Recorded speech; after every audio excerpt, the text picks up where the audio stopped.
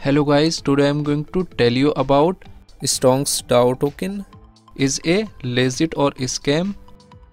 Now before start the video, let's hear my legal disclaimer. None of the information given in this video should be taken as a financial advice. Please make your investment according to your own research.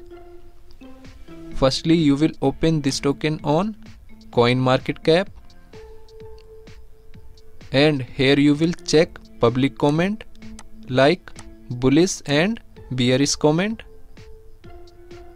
Now here you can check every comment in detail. After that go to chat section and click on telegram.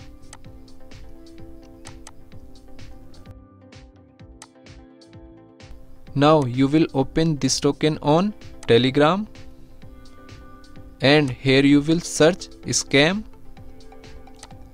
So here different comments is showing related to scam.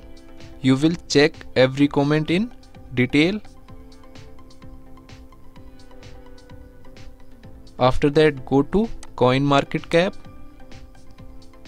and copy this address. After that open DEXTool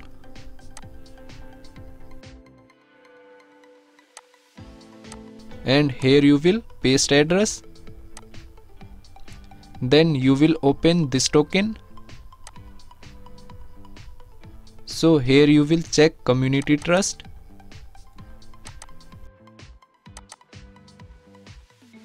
Now here you can check buying and selling transaction detail.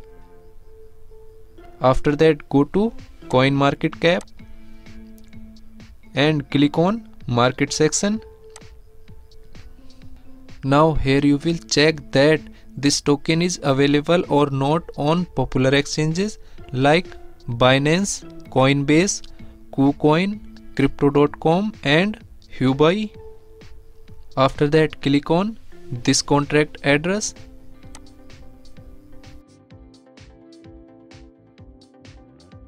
and here token holders is around 2000 after that go to holder section. Now here you can check holder transaction detail.